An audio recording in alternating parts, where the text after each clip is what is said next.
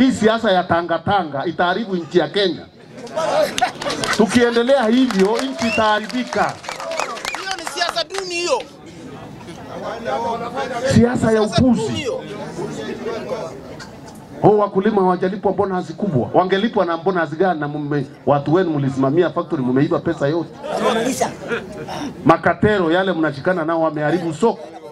Sasa bonus ingepatikana wapi? Hakuna. Kuongea maneno haujui na spidi atuelewi ni ya nini.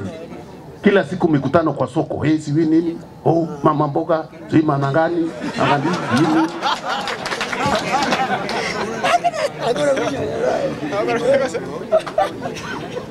Umekuwa kwa serikali miaka nane Yes.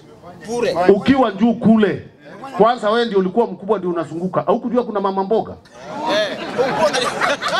Hii ndio umediscover kuna mama mboga kwa sababu kura Raila. Hati mboga sijui bonda bonda. Mambo ya boga hiyo hatujui.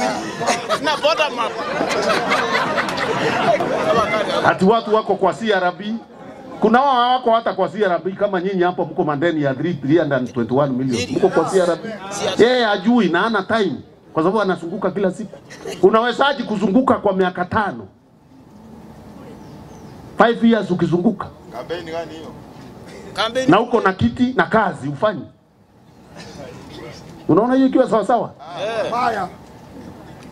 Tena siasa ya fitina, kila mahali fitina, wale wanamfuata ni wafitina. Hatujafika kampeni, tuko tuko kazini, tuko kazini, na hata tukifika kampeni si ipigwe kampeni ya utulivu, uombe kura, ueleze watu utawafanyia nini, mwingine naye aombe, wananchi wafanye nini, waamue, kwa sababu ndio wako na kura. Sasa kelele sijui mawe, mwende mpigane. Sasa ukinipiga na jiwe hapa, umechukua kura kwa mfuko yangu.